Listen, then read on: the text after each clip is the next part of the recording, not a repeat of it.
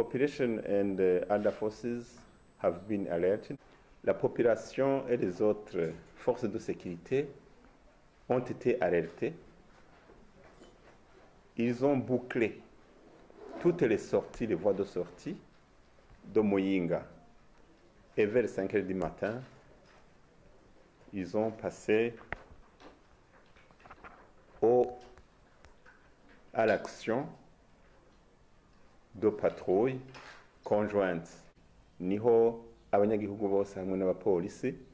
baciye batangura kuzibira amabarabara n'amayira yose ava muri icyo gice cyangwa asohoka ava imuyinga baca bukeye baca bose barakizura bari hamwe muri abo nabo baciye bata izo nkoho bari bafise basanze bari na kumwe kuko abanyamuyinga barazinanye